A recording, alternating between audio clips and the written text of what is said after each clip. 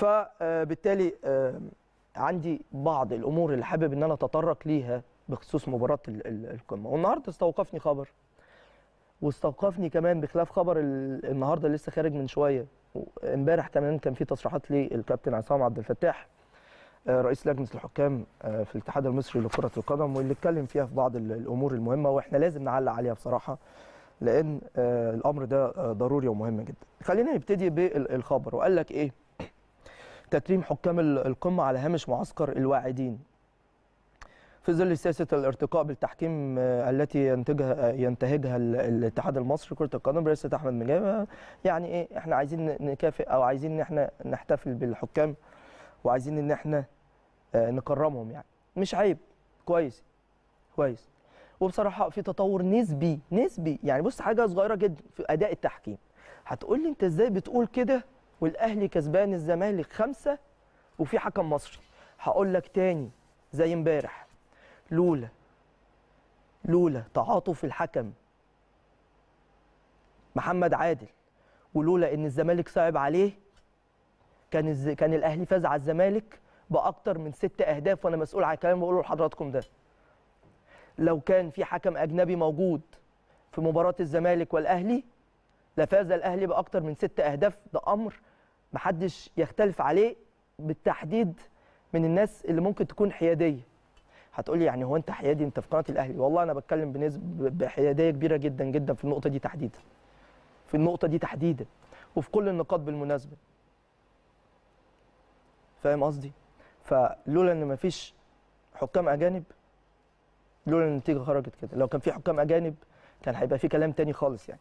فتعالوا بقى نروح لتصريحات الكابتن عصام فتاح واللي أنا بكن ليه كل التقدير والاحترام في الحقيقة راجل شاطر وعامل مجهود كويس. لكن هو معذور في إنه لازم يجمل صورة الحكام. ما بقولش إن محمد عادل عمل مباراة سيئة بس المباراه ما ياخدش فيها امتياز ولا جيد جدا. يعني ممكن نقول جيد. فاهم قصدي؟ ودي على فكرة درجة تعتبر كويسة. لكن كان يبقى امتياز لو ركن أحداث المباراة على الجنب وما فكرش في نتيجة المباراة لحد الدقيقة 70 ولا بعد كمان الدقيقة 70 كانت النتيجة كام؟ كان يبقى امتياز. ما يبصش على اللوحة بتاعه الاستاد. لو ما كانش بص على لوحة الاستاد وشاف النتيجة 5 1 وكمل الماتش بأدائه كان هيبقى امتياز. لكن اللي قلل من درجاته هو إنه عايز يخرج بالمباراة لبر الأمان. هو إيه اللي هيحصل يعني؟ إيه اللي هيحصل يعني؟ ما الأهلي كسب قبل كده 6 1 مفيش حاجة حصلت. كان ممكن الأهلي يكسب 6 و7 و8 امبارح وما كانش في حاجة هتحصل. ولو حصل حاجة فهي مسؤوليتك. ولو حصلت حاجة اللي غلط يتعاقب. ده اللي لازم نركز فيه ولازم نتكلم عليه. فكابتن عصام فتح قال تقييمي لطاقم التحكيم القمة امبارح 9 من 10 تعرضوا لي يا جماعة تصريحات الكابتن عصام فتح 9 من 10 أيوه هي تمام؟ ليه بقى 9 من 10 لماذا لم يحصلوا على 10 من 10 قال لك الملائكة بس هم اللي بياخدوا النتيجة دي. ومفيش ملائكة على الأرض. تمام. ماشي. بس والله في حكام بياخدوا النتيجة دي. 10 من 10 لما بي- بيحكموا اللي شايفينه. لما بياخدوا قرارات في اللي شايفينه. من غير ما يعملوا أي اعتبارات. وده للأسف الشديد اللي عمله الكابتن محمد عادل. والكابتن عصام فتاح رئيس لجنة الحكام طبيعي هيقول كده لكن هاتولي حد تاني أي حد تاني غير الكابتن عصام فتاح. وهو كمان بيعلق على إيه؟ خش لي على اللي بعديها. هو بيعلق على ضربات الجزاء.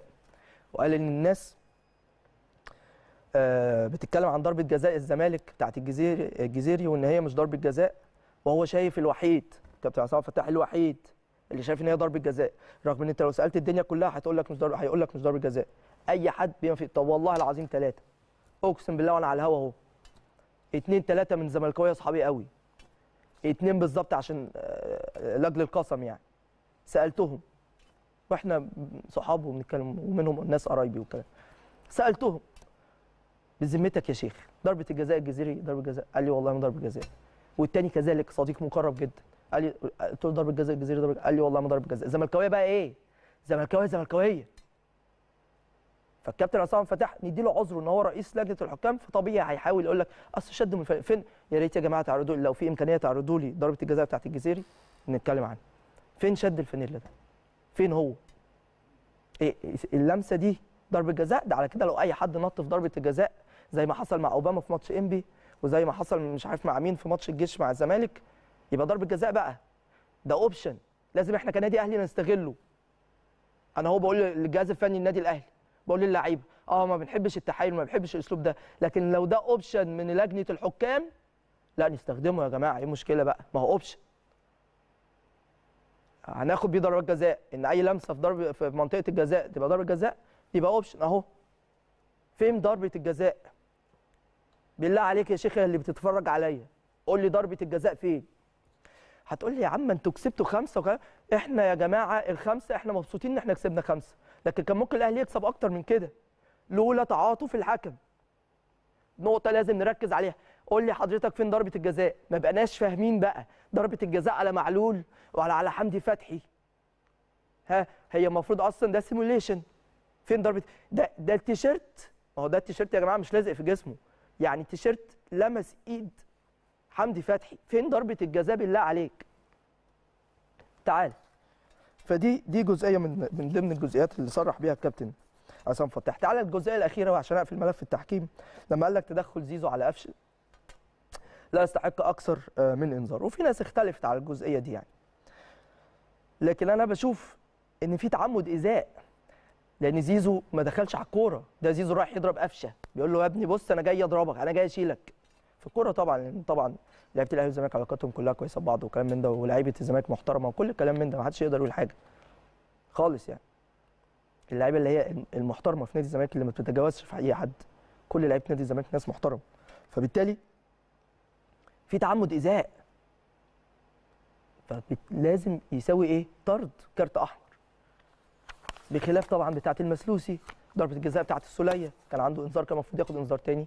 ويطرد عشان كده أنا برضو مصر النهارده كنت أتكلم عن ملف التحكيم زيادة في التأكيد على إن الأهلي كان يستحق إن هو يفوز بالمباراة بنتيجة أكبر من كده. لكن في كل الأحوال هي نتيجة رائعة بالنسبة للنادي الأهلي. عندي بعض الأمور الثانية برضو اللي عايز أتكلم فيها بخصوص آه هذه المباراه الحاجة الثالثه هي إيه؟ لقطة الكورة اللي اترمت في الملعب. وأنا نوهت عنها امبارح واتكلمت عنها امبارح. بس النهارده بالفيديو بقى. بالفيديو عشان اللي عمل كده نوري للناس يعني. لأن شكلك وحش قوي اللي عملت كده انت. والله العظيم شكلك وحش قوي. وبيتقلل من فريق كبير زي فريق نادي الزمالك. ده ده مع أهو زي ما حضراتكم شايفين ده إداري في الجهاز الفني نادي الزمالك. أنت مش عارف قيمة ناديك يا ابني. أنت مش عارف قيمة ناديك. اسمع مني. اللي أنت بتعمله ده يقلل من اسم وكيان كبير زي اسم نادي الزمالك. أيوه هو ده وضح لي الصورة قوي. إيه شكلك دلوقتي؟ يعني هو أنت لما هتنزل الكوره إيه اللي هيتغير؟ إيه اللي هيتغير؟ طيب تعال نشوف اللائحة بتقول إيه؟ لائحة العقوبات. خلي لي خلي لي دي كده يا بيبو شغالة يعني عيد وزيد فيها بقى. لائحة العقوبات اللي أقرها أقرتها رابطة الأندية المحترفة. يتم توقيع غرامة مالية قدرها 50000 جنيه.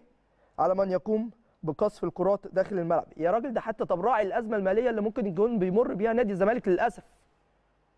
راعي الأزمة المالية اللي ممكن يكون بيمر بيها نادي الزمالك. أنت كمان بتغرم الزمالك 50000 جنيه. فحاجة غريبة بالنسبة لي يعني.